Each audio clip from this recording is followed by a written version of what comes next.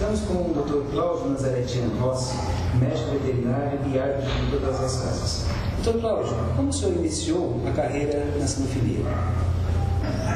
Eu ganhei meu primeiro cão quando eu tinha entre 7 e 8 anos de idade e ele foi nos presenteado por uma amiga da família.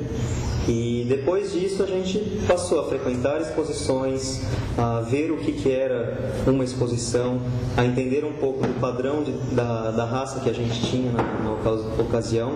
E a partir daí, indo às exposições, vendo julgamentos, eu passei a frequentar mais é, exposições e depois disso passamos a criar. Em que momento você se interessou é, em ser árbitro? Quando eu passei a frequentar essas exposições de cães, é, muitas vezes a gente ficava do lado de fora de pista tentando entender por que, que em, em determinada raça um cão que teoricamente para nós que estávamos assistindo era o melhor naquela pista e muitas vezes os árbitros davam para um outro cão e a gente ficava sem entender o que está acontecendo.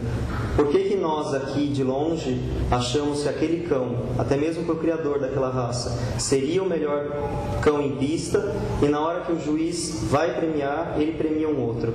Então a partir daí eu tentei começar a entender por que, que muitas vezes o que a gente vê de fora não é o que acontece em pista. E aí estudando estrutura dos cães, os padrões dos cães, eu comecei a entender que muitas vezes determinados cães têm faltas e essas faltas levam a essa divergência entre julgamentos. Quais as dificuldades que você encontrou para se tornar um árbitro?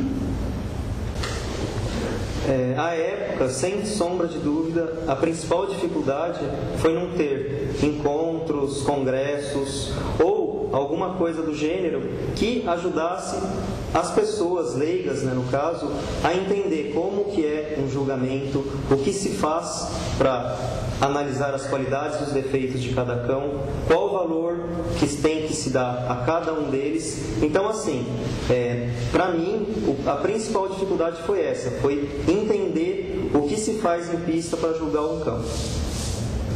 Hoje, quais são os requisitos básicos para se formar um árbitro?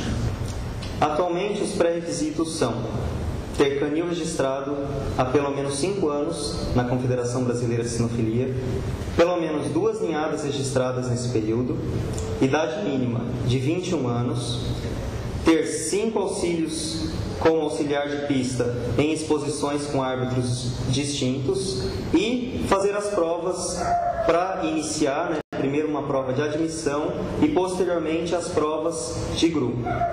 Atualmente tem-se que fazer uma prova de admissão, depois, anualmente, uma prova com um grupo apenas, isso nos primeiros cinco anos, e a partir daí pode-se fazer dois grupos por ano. Tá? E antes de você fazer o grupo seguinte, você tem que ter julgado duas vezes pelo menos o grupo anteriormente feito. Hoje existem oficialmente em torno de 400 raças caninas. Como você faz para se manter atualizado para as exposições? Apesar de existir oficialmente em torno de 400 raças, aqui no Brasil nós não temos esse número.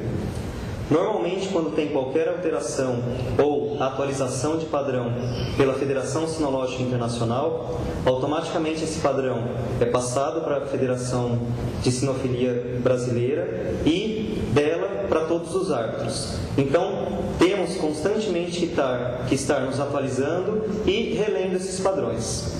Quando vamos julgar em algum outro país ou em alguma exposição que tem determinadas raças específicas daquela região, daquele país, é normal que se faça uma atualização do padrão para, no momento do julgamento, termos em mente o que devemos avaliar.